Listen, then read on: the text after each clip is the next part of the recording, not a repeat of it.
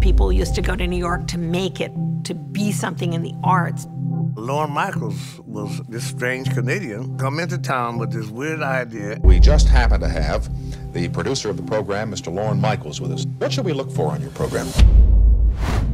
It's one hell of a day in my neighborhood. It's lasted through the ups and downs of America and the world.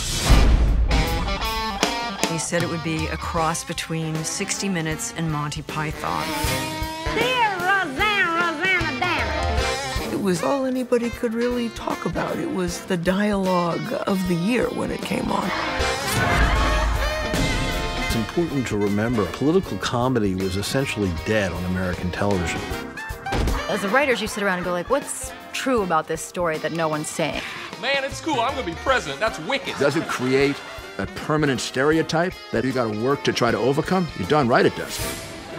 It's got to be all about job creation. Bingo.